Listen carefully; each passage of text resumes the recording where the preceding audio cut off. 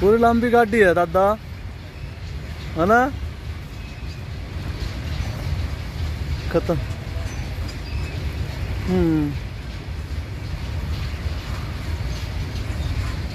तरपाल बाँध रखा सारे पे। क्यों हो गया इनमें कोयला? फिर तरपाल क्यों बाँध रखा? तरपाल क्यों बाँध रखा, मगा?